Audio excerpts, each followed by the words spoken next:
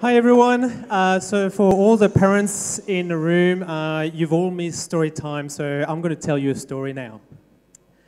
So 10 years ago, um, Julien decided to leave corporate because he had enough of having a boss, and with a kid on the way, like he wanted to have his own successful business in order to be present for his kids later on, right? And he had a friend, Gav, a brilliant coder, and uh, the App Store just opened, and opportunities were everywhere. So they went on and started business, right? And as they've been doing in their own companies for their employers, uh, Gav went to hire more coders and started to build a product, and Julien went to um, sell contracts already to all the companies in his network. Six months later, they finally had the perfect product that nobody wanted.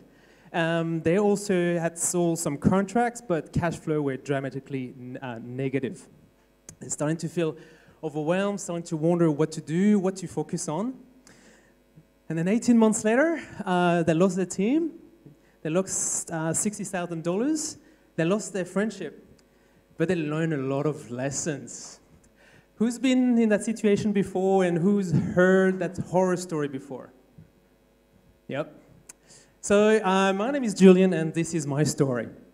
So I'm from the um, MBA of Entrepreneurship at UTS, and what we've done to solve that solution, to help um, corporate people to move into entrepreneurship and start their own business, is to partner up with Fishburners and to provide um, a 12 weeks online program, um, which is a proven playbooks to get uh, your business off the ground. So we do that through uh, course content, through community, and through coaching. When I say communities, you basically get three months uh, of a desk here at Fishburner. You have access to um, the most supportive community um, in Sydney. When I say content, you get access to content that is relevant, where you need your skills. And when I say coaching, that's 50 plus hours of individual coaching or group coaching through masterminds. Um, we've been running this program for 12 months at UTS, and uh, all our participants have revenue, which, which is what you expect after 12 months.